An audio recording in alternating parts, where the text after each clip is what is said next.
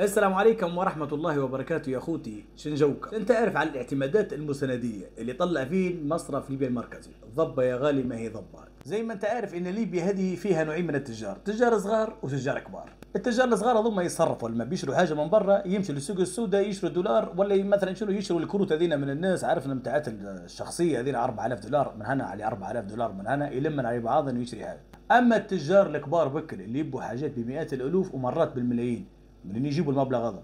هذه اللي حنشرحها لك توا ونقول لك نحن شن جبنا.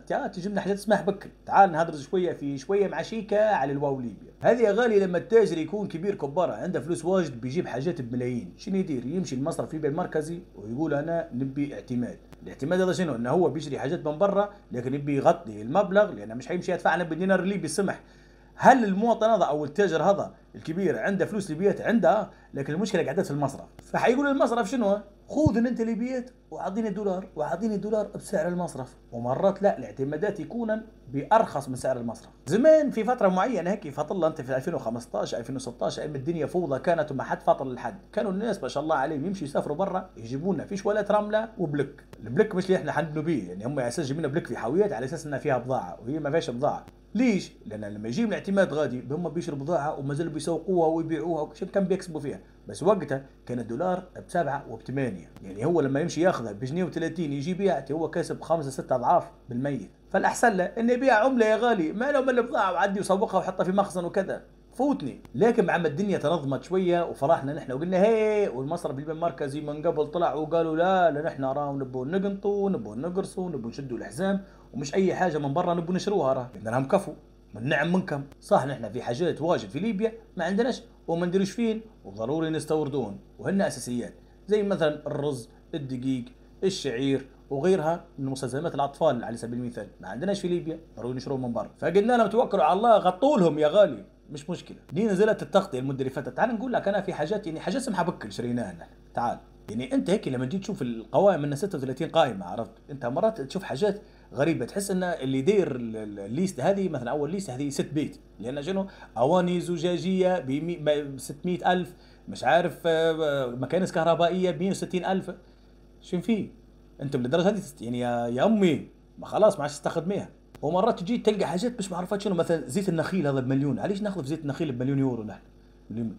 شنو يدير هو أكيد سمح أي حاجة من النخل سمح وفي مرات يا غالي تحس إن زي ما تقول شنو جماعة يعني نسوي له اوراق هذين عند عيال من صغار فهم قعدوا يخربشوا لأن شو تلقى مثلا كاكاو شوكولاتة بريوش. كيف يعني؟ مش يعني كيف بريوش ب 117000 دولار؟ ناخذ نشرب بيه بريوش. مش فاهم. وبشكوط ب 400000 تخيل يا معلم في مناديل ب 31000 يعني مناديل يا ع... ما نقدرش نديروا مناديل عندنا في ليبيا. ب 31000 دولار مناديل.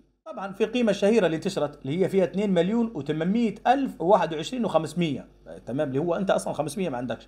هذينا جبنا بين أرجل دجاج مجمد. لكن الحمد لله لما سألنا طلع مش زي ما قلنا يعني مش أرجل دجاج عادية أرجل دجاج صناعيه الدجاج اللي عنده شنو؟ عنده مشاكل في الرجلين وكذا. فلا ما تخافوش. في تقريبا ب 700 ألف منتجات عناية بالبشرة. يعني ب 700 ألف تبغى تعينوا البشرة بيو الناس اللي بي اللي بيعالجوا البشره هذوما شنو يصير فيهم؟ في حاجة واحدة غير تقر اللي هي شنو؟ تقريبا 3 مليون يا معلم دولار آه فيه شنو؟ زجاج آه مياه بلاستيك. أنت فاهم اللي إحنا أنت فاهم ان ليبيا كمية البلاستيك اللي فيها بشكل غير عادي. بلاستيك ونايل واجبك يعني الشيش اللي نعزقوا فيه نادينا لو يندار له إعادة تدوير نحن حنوفر 3 مليون. واصلا المصنع مش حيكلف 3 مليون المصنع اللي حيدير إعادة تدوير. قبل ما ننهي الفقرة هذه نقول لك إن راهو نحن جبنا ب 154 ألف أو 155 ألف خلاط حلزوني أوتوماتيك. خلاط حلزوني أوتوماتيك المهم الزبدة هنا إن نحن الدولارات هذينا واليورو بتاعتنا بتاعت الليبيين صح؟ ومصرف الليبي المركزي هو الجهة المسؤولة اللي تقرر من اللي يستحق الاعتماد ومن اللي لا. والمفروض إن ما قالوا مصرف الليبي المركزي بيحافظ على الدولة الليبية وعملتها وفلوسها. وهذا علاش مقرقض علينا نحن كناس لأن عارف كان يعطينا الفلوس بنمشي نهيجوا بين في جربة وندهور في تركيا وكذا. فهو لا لا نحن نمشي نجيب بين شنو؟